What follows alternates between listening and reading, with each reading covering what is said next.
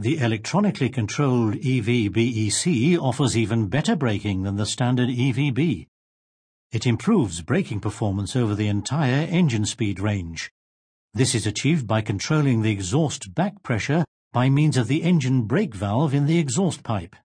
The pneumatically operated engine brake valve closes off the exhaust pipe to a greater or lesser degree, depending on the braking performance required, thus generating the required exhaust gas back pressure for the cylinders.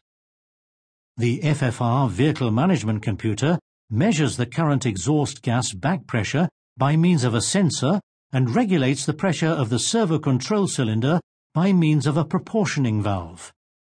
The risk of damage to combustion chamber components through overheating is eliminated by a temperature-dependent reduction of the braking performance.